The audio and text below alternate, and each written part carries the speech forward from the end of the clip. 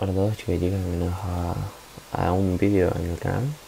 Eh, hoy les voy a enseñar pues, digamos una guía básica, un, cómo empezar, eh, cómo utilizar o cómo empezar a usar eh, un simulador de vuelo, un simulador bastante, bastante bueno para ya sea recreo o simplemente poner en práctica algunas cosas.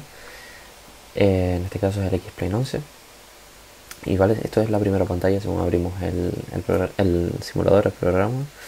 Eh, aquí tenemos varias pestañas que sería retomar el último vuelo, un nuevo vuelo, cargar algún vuelo guardado, escuela vuelo y configuración, ¿vale? Nos vamos a meter en nuevo vuelo y aquí pues podemos ver las aeronaves, mm, depende de eh, quién las haya desarrollado, los fabricantes, el tipo de motor, si tiene uno, dos, tres, cuatro o si directamente no tiene ninguno porque es a lo mejor un glider o un, plane o un planeador. Luego las diferentes clases de aviones y por ejemplo aquí ya ah, estuve buscando una cesnita para pues para cargar un mapa y tal. Entonces, aquí podemos poner también, eh, mostrar diferentes tipos de aeronaves de versiones anteriores y tal que salgan, a lo mejor que, porque hay aviones que a lo mejor son como, digamos, eh, exportados del X-Plane 10. Entonces, por eso también se cargan y funcionan bastante bien. Luego, aquí en el, lado derecho tenemos ubicación. Voy a poner el aeropuerto de Gran Canaria y luego puedes poner eh, sobre la pista aproximaciones de 3, 10 millas o directamente tú dices, yo pues no quiero aparecer en la, en la pista. Pues a lo mejor seleccionas cualquiera de, cualquiera de los stands. Por ejemplo, eh, están todos enumerados y nombrados, ¿vale? Vamos a suponer que vamos a ponernos en la 03 izquierda. Y ves, como, le, como les estoy diciendo, pues puedes poner aproximación de 3 y de 10 millas. Aparte encima te viene información sobre cuánto mide la pista y el material del que está hecho. Que fue, puede ser asfalto, eh, ahora no sé cómo se dice en español, eh, el, concreto que le dicen en Latinoamérica y tal, ¿no? Vale, justo por debajo tenemos aquí, pues, digamos, el clima, ¿no? Vamos a personalizarlo, tanto poner eh, la meteorología coincidiendo con el mundo real, con un metar que hayamos descargado o directamente una configuración manual que nosotros ya podemos poner en los diferentes tipos de nubes. ¿Vale? Podemos refrescar para tener una, lo más actualizado posible el meter. Yo en este caso lo hice hace 5 minutos. Y luego la tasa de refresco. Pues ponerla cada 15, 30 minutos y tal. Luego, pues nada, luego podríamos entrar aquí en, en, alguna que otra configuración más avanzada sobre lo que sería la meteorología, ¿vale? Aquí en hora del día podemos personalizar y vemos el mes, el día, la hora, el minuto y diferencia horaria con respecto a la hora general. Entonces, también podemos poner la opción de seguir hora y fechas reales. ¿Qué es lo que pasa aquí? Si tú, por ejemplo, vamos a suponer, vas a hacer un vuelo en Los Ángeles, te va a cargar la meteorología de allí y te va a cargar la hora que es actualmente. Entonces, entonces nosotros pues podemos mmm, seguir siempre, pues, digamos, ceñirnos lo máximo al realismo. Eh, lo que estoy escribiendo aquí, ya que este vídeo es como para gente que está recién llegada, son los códigos de los aeropuertos. Entonces, el aeropuerto de Gran Canaria pues se llama Gran Canaria o la identificación también es esta. Entonces, en el simulador puedes buscarlo por su identificativo o por su nombre real. ¿Vale? Luego, nada, como les está diciendo, aquí tenemos muchos aviones que si nos metemos en personalizar podemos eh, cambiar tanto los pesos, eh, centros de gravedad, cargas y tal, poniéndonos también eh, cuánto, cuánto fuel, cuánto combustible queremos, queremos ponerle al avión y esto te indicará más o menos cuánto tiempo de vuelo será. Y luego, pues claro, si tú imagínate que la vas añadiendo la carga de pago, pues se va moviendo el peso total del avión, ¿vale? Eh, también, por si acaso eh, alguno no lleve, no use el, el, sistema métrico, pues también puede ponerlo en libras, ¿vale?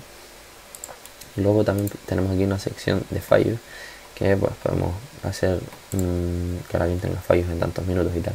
En este caso vamos a empezar con el avión con los motores en marcha, también lo podríamos quitar y mmm, simplemente voy a cargar el mapa para que vean más o menos cómo se vería el simulador.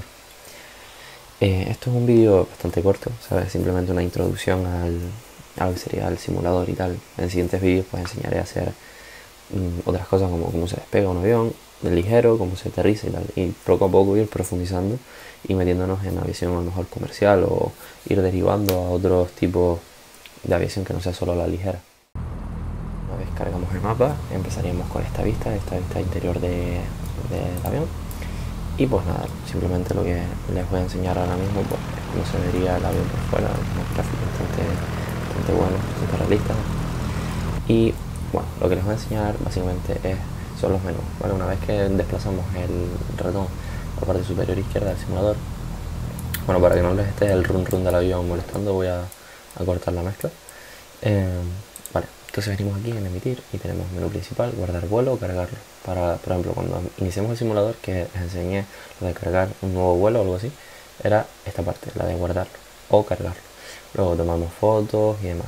En vuelo eh, tenemos pues, configuración de vuelo, volver hasta, hasta pestaña, cambiar algo como la meteorología, la hora, el avión y, bueno, y el aeropuerto. Luego tendríamos en vista, pues por ejemplo, para cambiar alguna que otra cámara, pues para poder ponernos una máscara de oxígeno, visión nocturna, alguna que otra cosa que más adelante, pues en algún que otro vídeo lo podremos usar, por ejemplo, algún vuelo nocturno que tengamos que encender el avión de noche y demás, que tenemos aquí una linterna. Luego un desarrollador pues, podemos poner para que recargue el escenario, el escenario alguna, eh, el avión, regenerar iconos en el menú. Y luego eh, aquí en plugins pues tenemos la ventana de... una vez añadimos plugins, que también voy a hacer un vídeo como se añade, pues podríamos eh, pues tanto habilitarlos como ya una vez habilitados pues manejarlos y usarlos. Aquí tendríamos para pausar el simulador, aquí tendríamos de nuevo el menú para, para configurar el, lo que vayamos a hacer, la meteorología y demás. Eh, aquí pues para hablar con Torre, como si fuese el Flight Simulator X, que tenías aquí las dependencias del, del, del, aeropuerto.